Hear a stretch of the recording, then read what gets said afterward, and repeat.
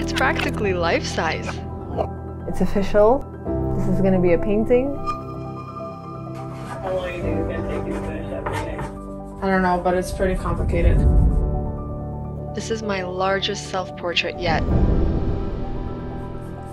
When I tell you this was the most freeing and liberating experiment,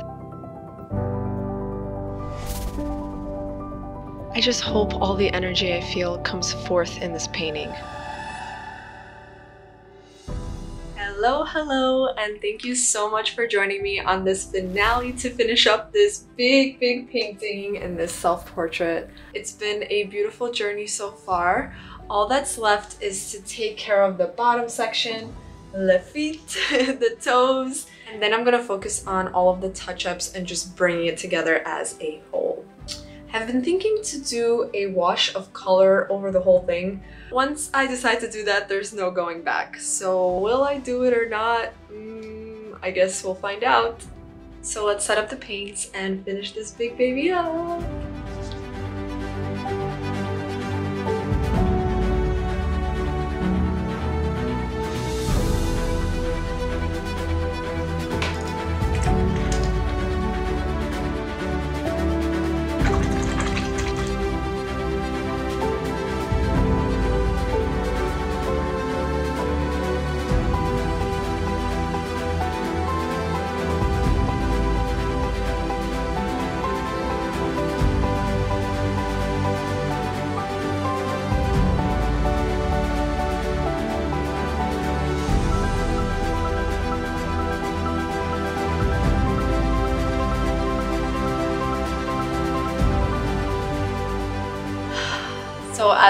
Painting these toes, it's just so funny to say, the main goal is maximum softness. Soften, soften, soften. Soften those edges. Softness. Achieving softness is always challenging, but using certain tools, brushes, and mixtures can help you do the trick. Building up thousands of layers, mixing the correct value and color, getting the likeness and nailing the lighting takes way more brain power and energy than you may realize. Every little stroke is consisted of these like little hashes that I like to do. And with these hashes, I'm able to kind of blend away and form out the shape, whatever it is. And it's also nice for skin because it gives you that texture that skin has. Skin isn't completely smooth. We have all these pores and little crevices. So it's nice to kind of do it with these little strokes. And I do it with a thin brush eventually. And I build up and I build up and this takes lots and lots of time. I found it quite helpful to have one brush to apply the paint and then another brush to blend. Delicately interchanging the two allowed me to get the softness I desired. Oh, and don't forget your finger, that can help too.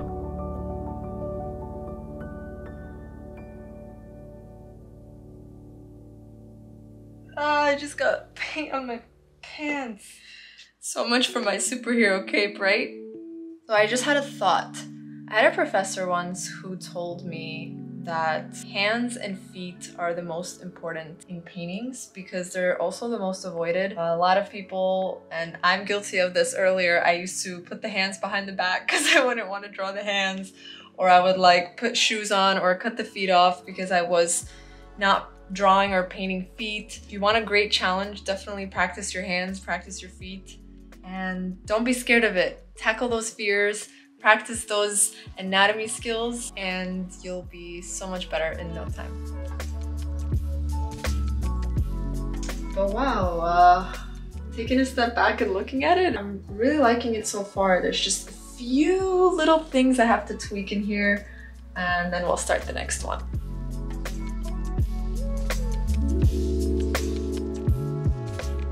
The simplicity of taking a step back and looking at your painting as a whole is a top essential while working on certain sections of a large painting. And I was doing it quite a lot.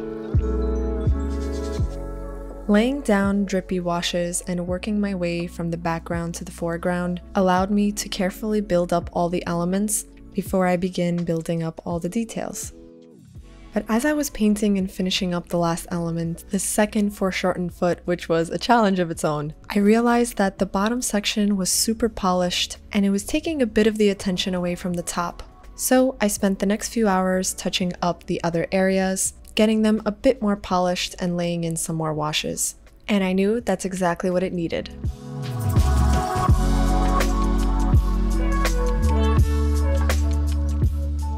However, during these moments, I came to a very serious dilemma.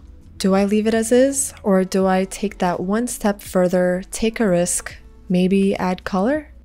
This time, I really wasn't sure. But the more I would sit back and look at it and look at it some more, I couldn't help but feel like it was missing something. I'm craving color, texture. Get the palette knife. Yeah. You cannot do that. It's perfect the way it is. Just leave it. Play it safe.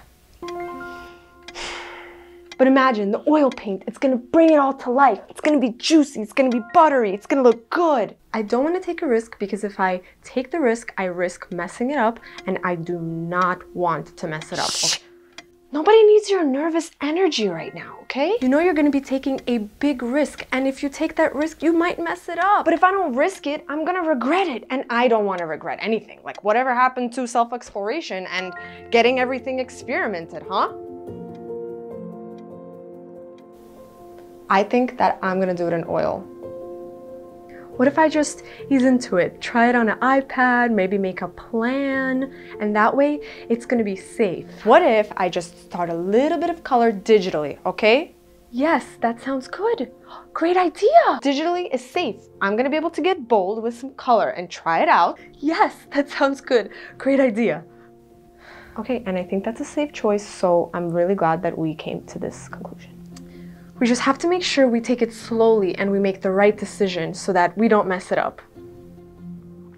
Look, whatever I decide, I know that I'm going to fix it. And if I take a big risk, I can feel it. There's going to be reward. Okay, good, good. Wait, where are you going? Don't you want to plan it out? Wait for me. I don't know why I felt like my life depended on it, but I figured a few color comps won't hurt. I took a photo on my iPad and brought it right into Procreate, and while I'm doing some digital color studies and trying out a bunch of different options, a quick word from our kind sponsors, Pela.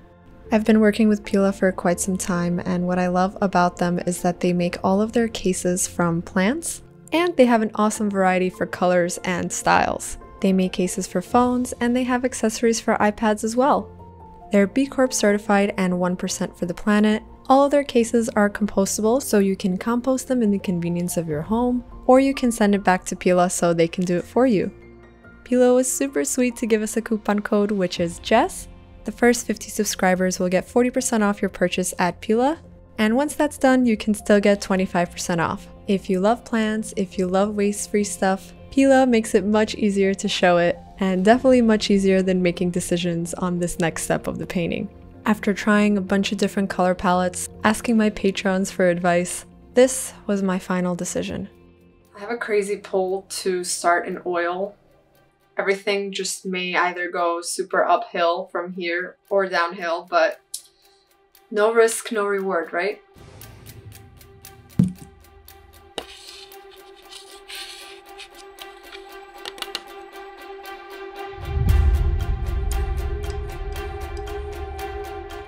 Yep, it's happening.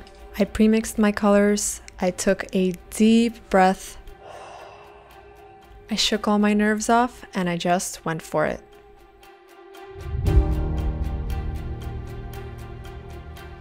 I knew that this step would bring it to the next level.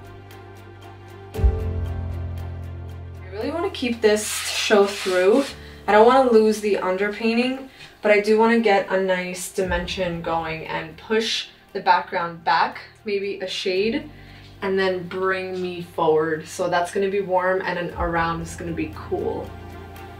So let's go for it. Okay. Oh, that's nice. It's nice and transparent so you can see through. All right, I like this. To make it feel a bit more safe to start, I began with Galkyd Medium, which allows you to make transparent layers and glazes. Adding a tiny bit to my paint, I really wanted to bring in subtlety of color. Oh yeah, and did I mention it was my first time using it? Oh well, I'll figure it out.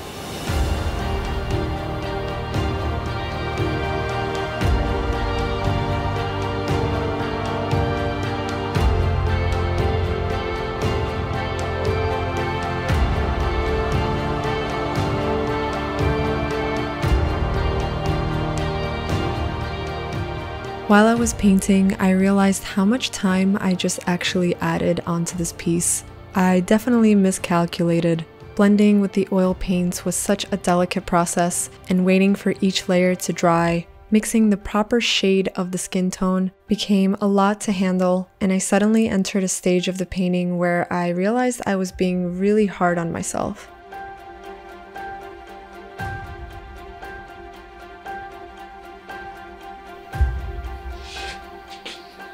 Wow, I really hope I didn't just uh, mess up the whole painting.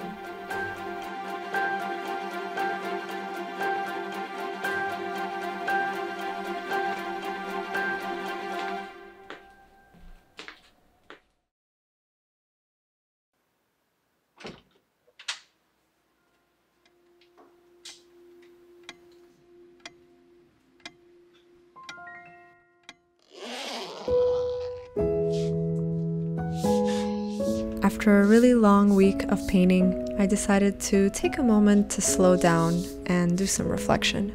I couldn't believe what I found.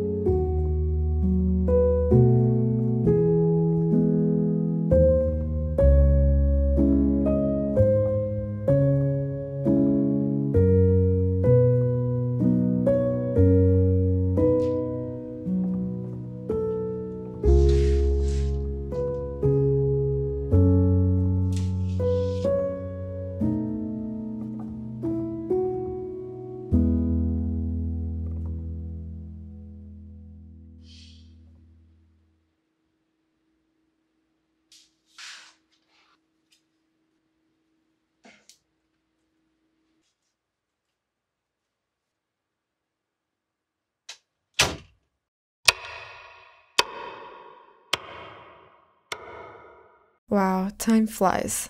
Crazy to think I've loved drawing tulips since preschool.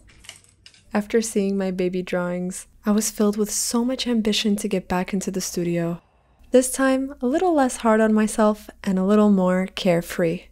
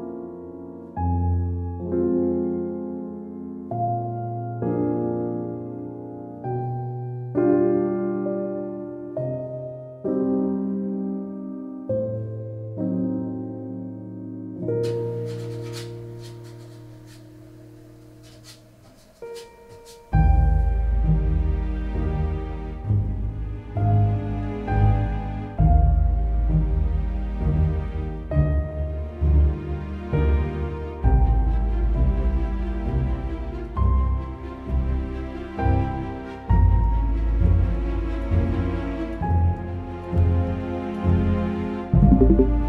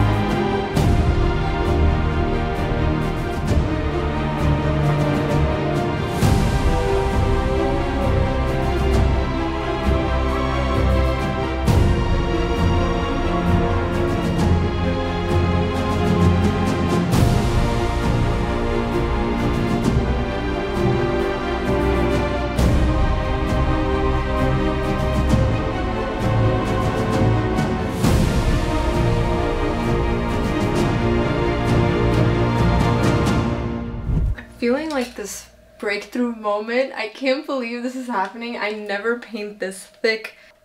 I don't know, I'm just like freaking out right now.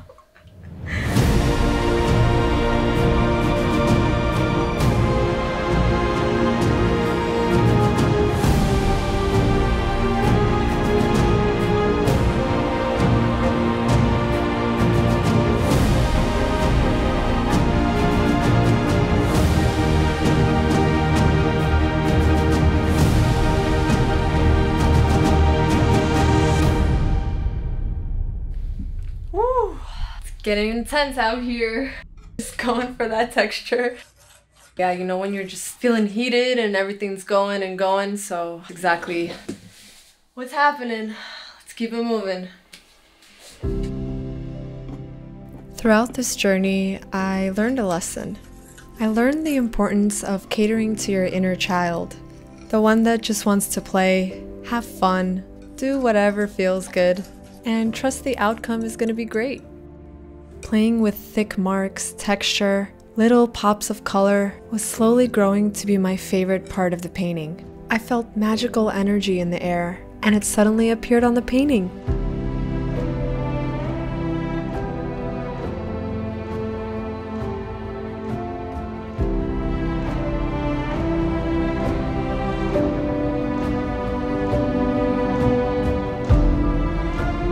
At this point, I've lost track of all the days. Today's the day. I think that I'll finish this. It may look finished, but I still, there's so much you can do. I feel like you can work on a painting forever. It's like a bittersweet moment, so I'm really gonna soak in today and finish strong. Okay, another question. What would a little kid do if it suddenly started raining, per se?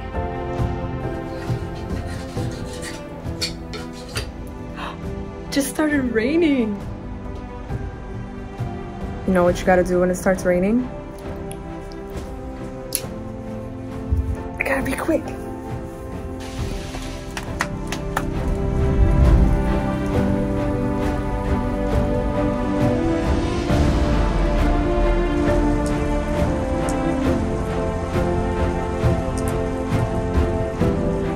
If you have a chance to go out into the rain while it's sunny, do it. Let's get back to painting. Yeah, welcome to Florida. We got sun three seconds after the rain.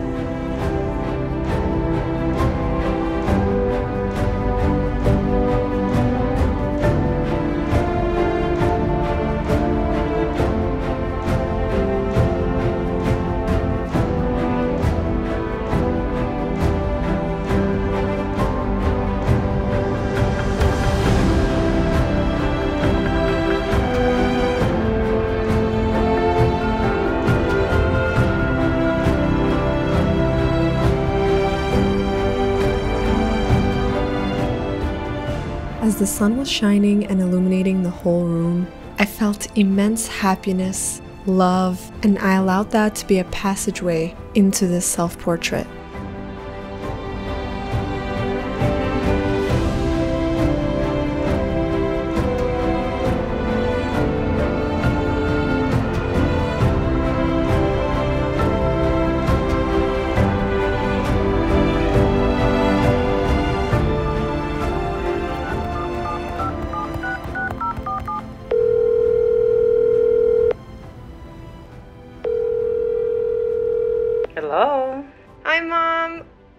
Just finished my painting. Oh, really? Yay! Congratulations! Cannot wait to see it. I can't wait to show you. And thank you for the flowers. They really inspired me. You're welcome. In this case, I will grow a big garden for you for infinite inspiration.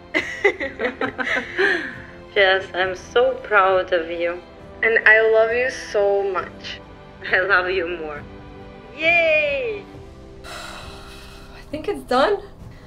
It's like a very sad but happy, exciting moment. I am absolutely over the moon painting this and I'm so grateful that I get to do this and share it with you. What's left is the final reveal. Let's take a look.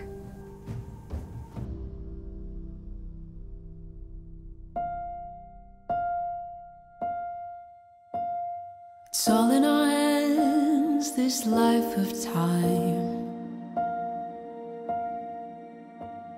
That's given to us all. It gathers round each night, each morn. We watch it pass and grow. It is all in our